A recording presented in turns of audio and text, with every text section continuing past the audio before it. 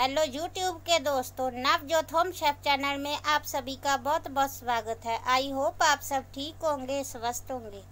आइए दोस्तों, आज हम आपको नई रेसिपी के साथ रूबरू कराते हैं और सिखाते हैं। आज की हमारी नई रेसिपी है दोस्तों, स्पॉन्जी रसगुल्ले की रेसिपी। आइए आपको सिखाते हैं नए तरीके से और सिंपल और आसान तरीके से दोस्तों। उससे पहले जो चैनल पर नए हैं प्लीज़ चैनल को सब्सक्राइब कर लीजिए लाइक शेयर कर लीजिए। इसके लिए हमें जो जो इंग्रेडिएंट चाहिए, वो देख लेते हैं दोस्तों। सबसे पहले हमें चाहिए दूध। ये दोस्तों, गाय का दूध। ये रहा दोस्तों थोड़ा सा विनेगर ये दोस्तों एक कप चीनी। आप अपने हिसाब से चीनी लीजिएगा।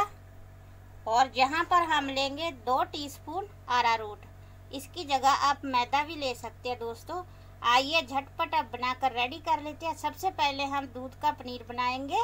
आइए देख लेते हैं। दोस्तों, सबसे पहले हम बर्तन को गैस पर रखेंगे और गैस को ऑन करने के बाद हम दूध डाल देंगे। दूध आप दोस्तों भैंस का भी ले सकते हैं, गाय का भी ले सकते हैं दोस्तों, ऐसी कोई बात नहीं। जो दूध आपके पास अवेलेबल है वही ले लीजिएगा। अब इन्हें उबाल आने देंगे हम। ये लीजिए दोस्तों, हमारे दूध में उबाल आ चुका। अब हम इसमें डालेंगे। हमारा जो सिरका था, वो डाल देंगे। अब इन्हें अच्छी तरह से हिलाएँगे दो मिनट के लिए। ये देखिए दोस्तों, दूध हमारा फटने लगा। अब हम गैस को ऑफ़ कर देंगे।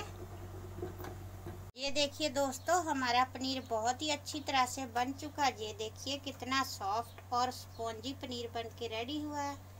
आप जब भी रसगुल्ले बनाए दोस्तों, मेरी यहाँ पर एक टिप ज़रूर याद रखिएगा। आप घर पर ही छेना बनाइए, ताज़ा और उसके रसगुल्ले बनाइए दोस्तों। बहुत ही अच्छे और सॉफ्ट और स्पॉन्जी रसगुल्ले बनेंगे आपके। अब हम इन्हें अच्छी तरह से मैश करेंगे दोस्तों। ये देखिए आपने इस तरह से आगे की तरफ़ हाथ को बढ़ाकर इस तरह से मैश करते जाइए। तब तक मैश करिए दोस्तों, जब तक ये सॉफ्ट ना हो जाए। ये देखिए दोस्तों, हमारा पनीर बिल्कुल सॉफ्ट हो चुका। इसे मैंने सात मिनट के लिए दोस्तों मैश किया। अब हम इसमें डालेंगे एक पिंच के जितना बेकिंग पाउडर आपने इसमें बेकिंग सोडा नहीं डालना दोस्तों बेकिंग पाउडर ही डालिएगा। अब हम इसमें डालेंगे वन टीस्पून से भी कम अरारोट डालेंगे दोस्तों, ये देखिए, इससे ज़्यादा मत डालिएगा। अब हम इन्हें अच्छी तरह से मैश करेंगे। ये देखिए दोस्तों, मैंने इन्हें अच्छी तरह से मैश करके सॉफ्ट कर लिया। अब हम इसके गोले बनाएँगे। आज हम बनाएँगे दोस्तों मिनी रसगुल्ले। आप चाहे तो बड़े वाले भी बना सकते हैं। आज हम छोटे वाले बनाएँगे दोस्तों। इसके लिए हम छोटे छोटे गोले बनाकर रेडी करेंगे। इस तरह से ये देखिए। ये देखिए दोस्तों, आपके रसगुल्ले में क्रैक बिल्कुल ना हो दोस्तों, बिल्कुल चारों तरफ़ से अच्छी तरह से गोले हो, गोले बनाए दोस्तों। ये देखिए, बिल्कुल क्रैक नहीं है इनमें। इसी तरह से हम सभी गोले बनाकर रख लेंगे रसगुल्ले के। देखिए दोस्तों, मैंने रसगुल्ले बनाकर रख लिए दोस्तों, इनके गोले छोटे छोटे बनाकर मैंने कुछ ग्रीन कलर के बनाए दोस्तों, कुछ वाइट कलर के। आप चाहे तो एक कलर के भी बना सकते हैं दोस्तों। कलर वाले अच्छे लगते हैं दोस्तों, बच्चे भी बहुत खुश होकर खाते हैं, इसलिए मैंने थोड़े से कलर वाले बनाए दोस्तों।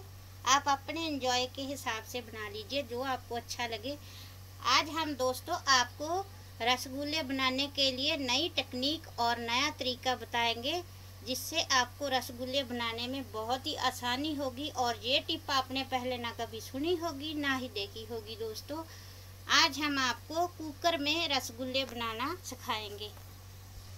यहाँ पर दोस्तों मैंने कुकर लिया, जिसे मैंने अच्छी तरह से वॉश कर लिया, क्योंकि हम रोज़ दोस्तों इसमें सब्ज़ी वगैरह बनाते हैं और उसकी सब्ज़ी की जो स्मेल होती है वो रह जाती है, हल्दी तेल की। इसलिए इसे आप अच्छी तरह से वॉश कीजिएगा। उसके बाद एक घंटे के लिए आप इन्हें धूप में रख दीजिएगा। इसकी जो सब्ज़ी की स्मेल होगी दोस्तों, वो निकल जाएगी और आपका कुकर अच्छी तरह से वॉश हो जाएगा। अब हम इसमें एक कप मैंने यहाँ पर पानी लिया दोस्तों, और यहाँ पर एक कप ही हम चीनी डालेंगे और इन्हें अच्छी तरह से पकाएँगे। इन्हें चम्मच से हम चीनी को हिलाएँगे दोस्तों, ये देखिए। एक उबाल आने तक हम इन्हें पकाएँगे। यहाँ पर दोस्तों हमारी चाशनी अच्छी तरह से उबर रही है। अब हम धीरे धीरे हमारे जो रसगुल्ले वो डालते जाएँगे। धीरे धीरे डालिएगा दोस्तों आप।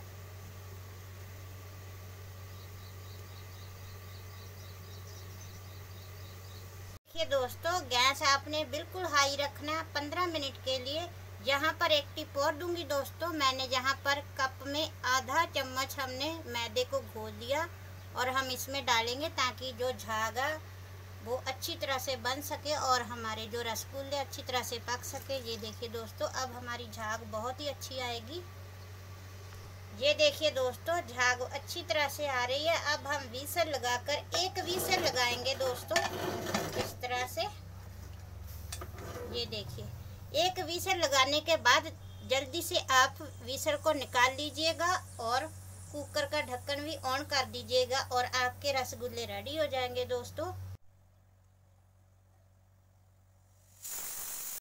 ये लीजिए दोस्तों, हमारे रसगुल्ले, मिनी रसगुल्ले बन के रेडी है। बहुत ही टेस्टी और लाजवाब रेसिपी बन के रेडी हुई है दोस्तों।